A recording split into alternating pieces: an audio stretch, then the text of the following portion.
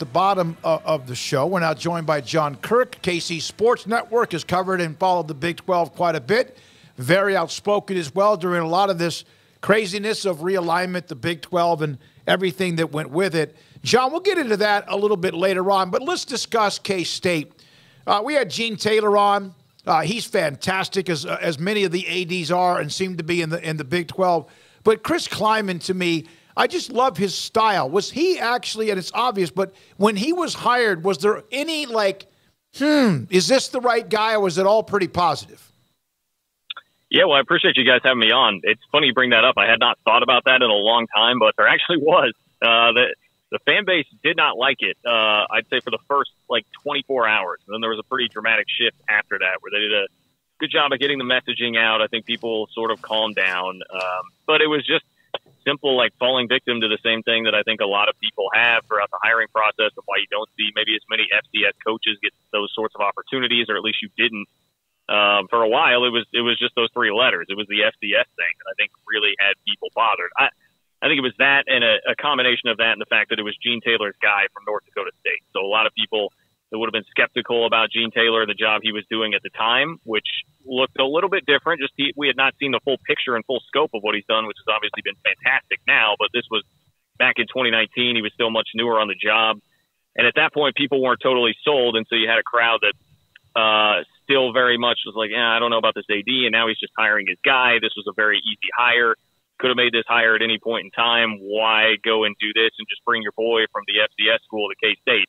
There was there was a lot of that uh, right after the hire happened, but it turned pretty quickly. I think, especially once he came and did a press conference, people listened to him, heard his message out, and uh, started to come around to like, okay, this seems like a guy that could really resonate with players in in 2023 or at the time 2019. Um, just a really good players coach, incredible culture, and uh, that became really apparent when you heard him talk. Like, all right, I kind of see what this is about. Let's let's give this a chance. And uh, he he started to win people over pretty quickly, and certainly won a lot of people over with that first season where they went eight and four in the regular season with a roster that was very very devoid of talent. Didn't even have they did not have a scholarship running back uh, on the roster when he took over, for instance. So to go eight and four, almost nine and three in that first regular season, I think really got people on board and. Uh, now, obviously, he's got complete and total support of everybody and a new contract uh, to boot.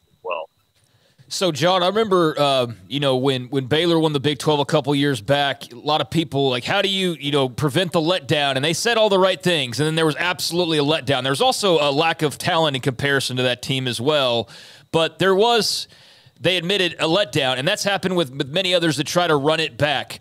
But when we talked to Chris Klieman at Big 12 Media Days, how much do you think his experience allows them to truly reset the table and not have to worry as much about, you know, carryover from last year, just assuming things are going to go a similar direction and that it really is a brand new team?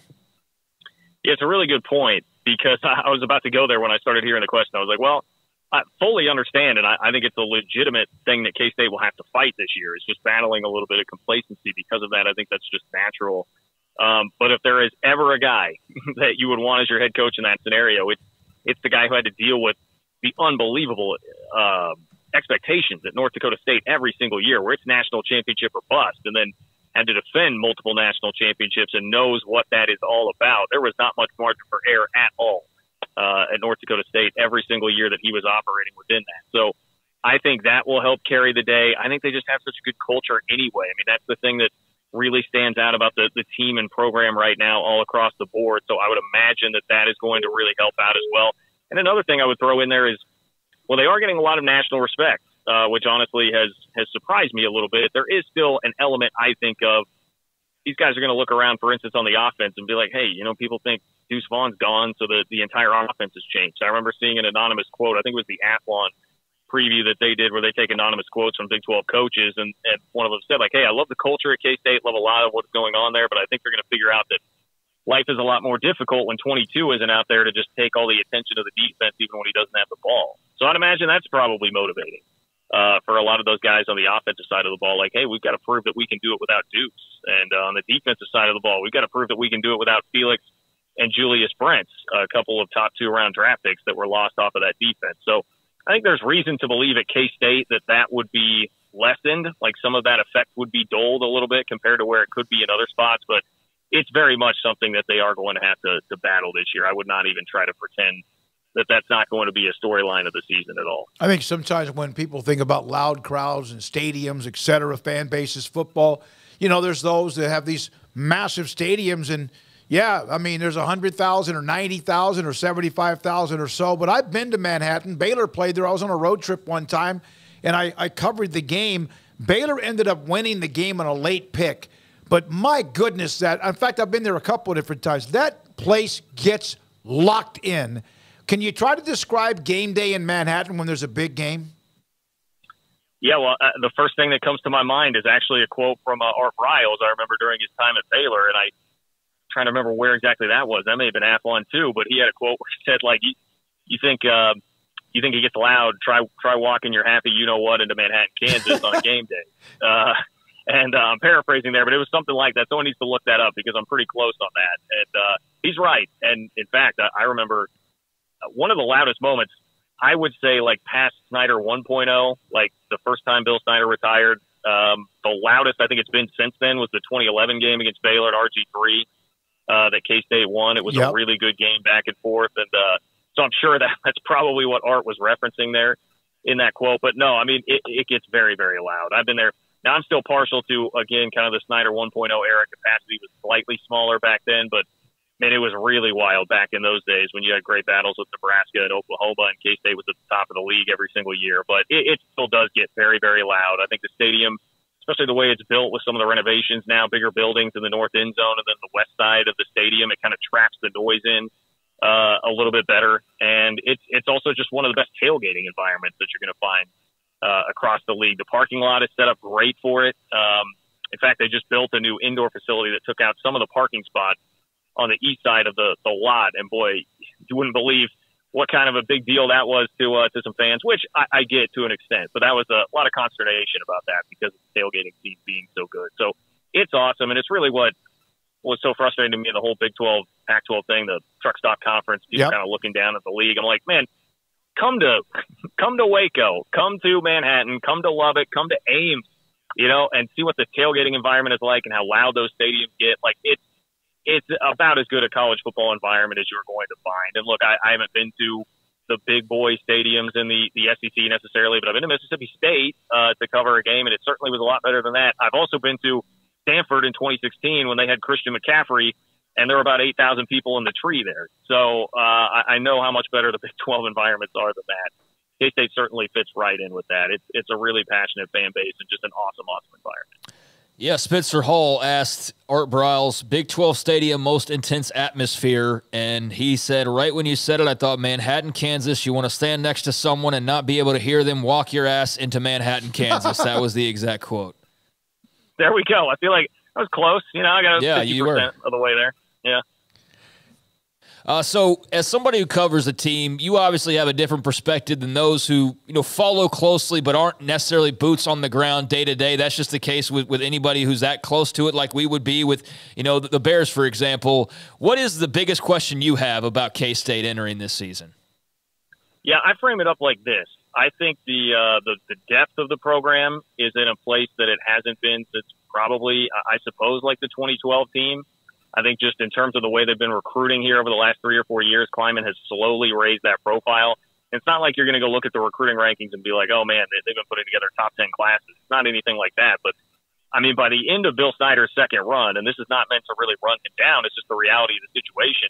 They were recruiting classes full of guys that not only were just like two and three stars, but did not really have many other Power Five offers. And now they're they're beating out lots of Power Five competition. They've landed guys like uh, Avery Johnson, who's going to be next in line at quarterback, who was a real national recruit there. And they've had a handful of guys who have been borderline like national recruits that they've been able to pull in, which is just a, a huge uh, step in the right direction for a program that's always been about developing guys. And Klieman has already proven he can win uh, eight games in a season with just a totally developmental roster. It's in a much better place across the board there. But my my question is going to be, can you replace the star power? Because well, the depth of talent is there you are missing Deuce Vaughn. You are missing Felix Anudike-Uzomah, first round pick. You're missing Julius Brent, second round pick. Josh Hayes was a sixth round pick. He's gone in the secondary. Ekow Boye-Doe gone in the secondary. He may make the Chiefs 53 man roster after just being a, a camp invitee. He's having a really nice camp and preseason for the Chiefs so far. So there's a lot to replace there. And, and those guys were studs that have been around for a long time. So I think the question becomes, all right, Treshaun Ward, really nice running back transfer from Florida State, Big 12 offensive newcomer of the year, but him combined with DJ Giddens, are those two going to be enough to at least give you, you know, 75, 80% of what Deuce Vaughn was giving you? I, I think Ward has a lot of potential. I think Giddens has a lot of potential. Looked great against Alabama uh, in the Sugar Bowl, albeit kind of in, in garbage time in that game. But it, it, giving K State fans a lot of optimism there. On the defensive side of the ball, like Khalid Duke, at one point he was the, the guy that everybody expected to have a meteoric rise to be the NFL draftee as a as a pass rusher, and it turned into Felix Anudike-Uzomah kind of stepping in front of him developmental wise, and some injuries have held Khalid Duke back, but he's now back to just rushing the passer. They tried him at linebacker a little bit too. I think that stunted some of his growth. Can he step in and be the guy that everybody thought a couple of years ago was going to be the one that turns into an, an NFL draft pick? They have Will Lee at corner, who was one of the best JUCO defensive backs out there that Alabama made a serious run at late. They were able to hold off the Crimson Tide and keep him in there, but you know, is he going to be Julius Brents right away? We'll see. Uh, that to me is the question. If they're going to make it back to Arlington, I think they need some of those guys to really pop and become stars. And uh, that is my question. I guess the other thing that could happen is Will Howard last year was excellent when he played quarterback. K State had the fifth most efficient offense in the country on the drives that he was out there in terms of points per drive. If he can still elevate his game without Deuce and make everybody around them better, if Keagan Johnson, a transfer that they love from Iowa receiver, can be more consistent than Malik Knowles at wideout, maybe they have a star receiver all of a sudden. Ben Sinnott, I think, has star potential at tight end and, and was great at the end of last year. If some of those guys, if they get a couple of them to really hit, and become stars like what they had last year, I think they'll have definitely a chance to get back to Arlington. But to me, that is that is a pretty big question mark. What's it like seeing Deuce Vaughn run around? I know it's preseason, but you know you can tell how he's going to translate. I'd imagine not really many surprises on the K State fans end of thing. You you know you and, and, many others, and we too. I mean, seeing him, we we believe in, in Deuce Vaughn, but it's just kind of amazing to see others. Who is this guy running around here? Who's this guy for the Cowboys? What have been your thoughts on seeing him in action? Well, one of my favorite pastimes has turned into uh, taking the either the NFL account or the Cowboys account and just looking at the quote tweets and seeing all the people in there like, all right, I was wrong. This dude can play. yeah. like, I, that's that's been one of my favorite things to do to watch it because I was, I mean, I was sure. Like I, I compared it to when Tyler Lockett came out. I remember we had a, a Seattle beat writer, like kind of your old hardened beat guy that covered the Seahawks and had for a long time on, on my radio show back then. And I remember asking him, like we were just talking about Tyler and what his role was going to be. And I, I just vividly remember him being like, yeah, you know, special teams are going to want him to use, you know, special teams. Maybe he'll catch a couple balls. We'll see. And I was a little put off by the attitude there. I was like, I don't think you understand. Like this dude can really play. Like this, this guy torched everybody in the Big 12, but it was this thought like, he's a little bit small. I don't know if he'll be able to really hack it. And they were looking at it more as like a special team sort of weapon. Same feeling that I had here with Deuce. I was like, I, you guys don't understand, man. This cat can play.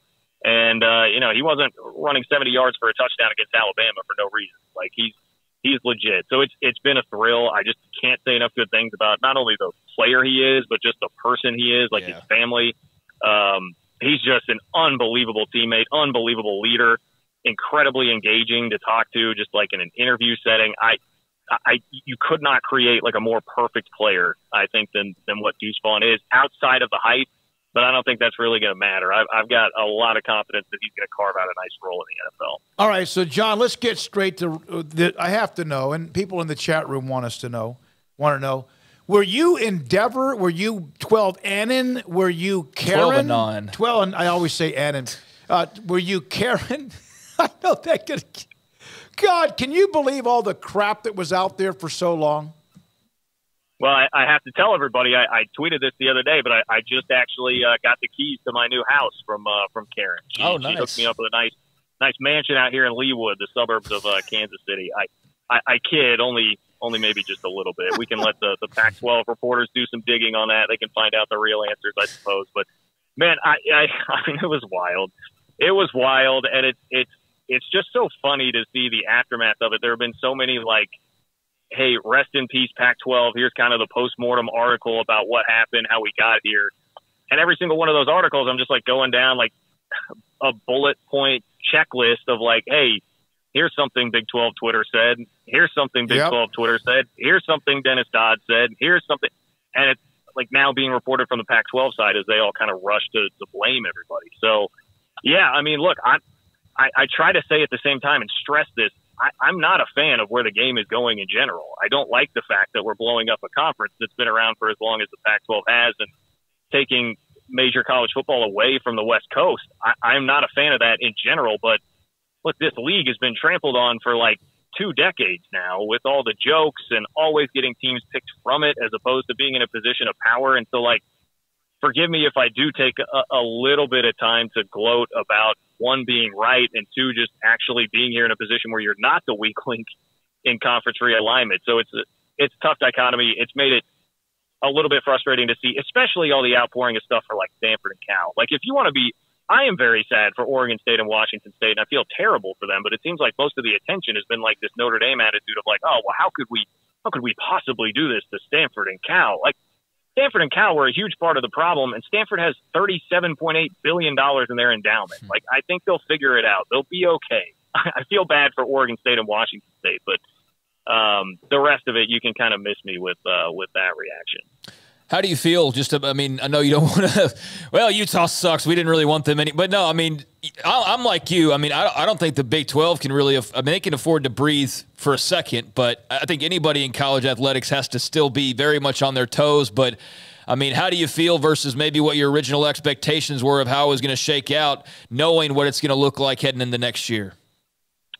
Yeah, I'll be honest, and I, I said this as much when it was happening. I always kind of felt like 30 70 that the Big 12 would wind up in a position like this. And maybe even then it was, I'd have to go back and play the tape on what I said and what I was thinking at the time. But I was even thinking, like, hey, landing Colorado and Arizona would be great. Yeah. And it felt like Utah and Arizona's state's reaction was so strongly against, strongly opposed going to the Big 12. It, it always felt like pipe dream is probably a, a bit too strong, but it just felt a little far fetched for me that that was going to happen.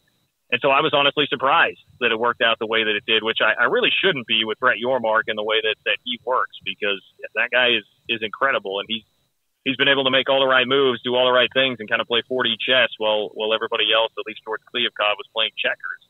Um, so I probably was a little bit off even in that, but I was trying to be conservative with it. And really it was just a point of like, Hey, I, the, the Pac 12 is leaving itself very vulnerable here. That was the point I was always trying to stress. And like, Hey, it seems very clear that George Kliavkoff has made a bevy of missteps. Now, I think with some of the reporting in hindsight, it looks like a lot of that may have been directed by the presidents, and you really could direct a lot of the blame up at the presidents who are like listening to random professors on campus tell them that they're worth fifty million dollars a year and things like that. Um, but it just that stuff was so obvious, and you know, it kind of sometimes you have to check yourself. Like, am I crazy? I feel like I'm just reading the tea leaves here and looking at the facts presented in front of me, and it seems like this could be a problem for them but I still felt like getting it across the finish line would be uh, a little bit out of reach for the league. So pleasantly surprised, and uh, honestly, I mean, watching U- Utah, I know was like a they were kind of the subject of my ire for a little while there with with some of the fans on social media. But looking at their leadership, like the press conference they had, I thought was great. Um, it's easy to see why that football program has been so successful. I think the leadership across the board there is just excellent. And I think most of the fans seem to have come around. So I'm, I'm welcoming Utah with open arms. Arizona State fans, I think, are fine because they realize that their leadership is a problem. But boy, uh, that leadership when it comes to athletics seems to be a bit of an issue right now. University president and uh, and athletic director. So we'll we'll see uh, what's going to happen with that. But nothing, no qualms with uh, Arizona State fans. So I'm hoping for you know a little little period of kumbaya here for everybody. Thank you, John. Great stuff. I'm glad we have you on. Appreciate your insight. Bunch of great stuff on K State football, names, players and Chris Klieman, and also much more. John Kurtz from the KC Sports Network.